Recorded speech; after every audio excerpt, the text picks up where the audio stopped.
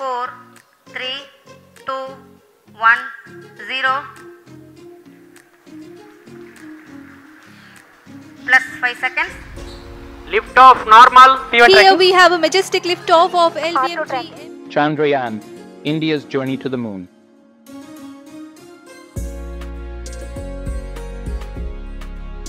Hello everyone, welcome to Smart Expat.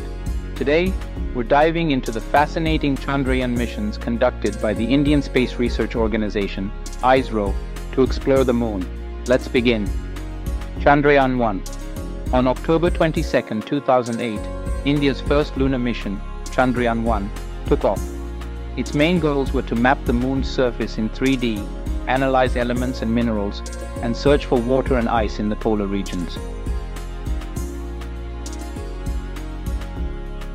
Equipped with NASA's Moon Mineralogy Mapper, M3, Chandrayaan 1 made a groundbreaking discovery about water molecules on the lunar surface.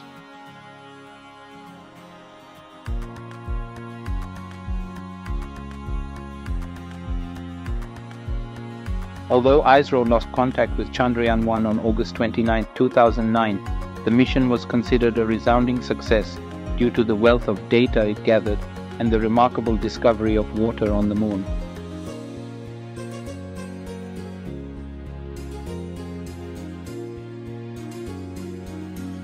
Chandrayaan 2 Fast forward to July 22, 2019, and we witnessed Chandrayaan 2, India's second lunar mission.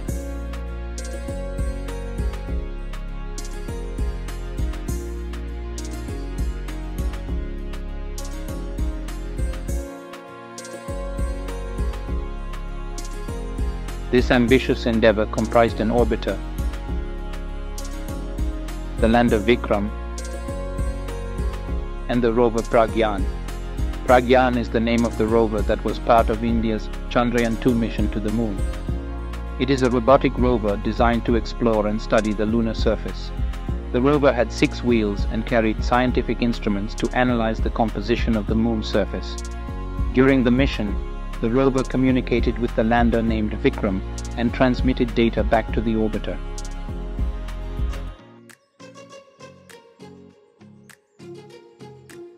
The primary objective was to explore the lunar surface, particularly the South Pole region, and conduct extensive research on its topography, mineralogy, and water presence.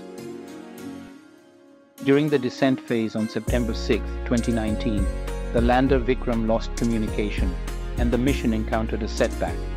However, the orbiter continued to function, sending back valuable data and conducting scientific observations. Chandrayaan 2 showcased India's growing capabilities in space exploration. Introducing Chandrayaan 3, Chandrayaan 3, the latest lunar mission.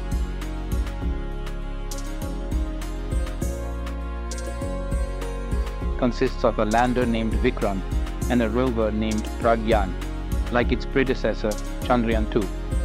Unlike before, there's no orbiter on board.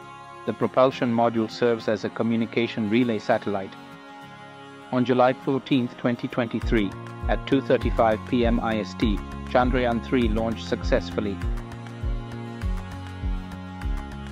heading towards a 100 kilometers lunar orbit. The lander and rover are set to touch down near the lunar south pole on August 23, 2023. Chandrayaan 3 incorporates advanced technologies in the lander module, including altimeters, velocimeters, and an inertial measurement system for precise navigation.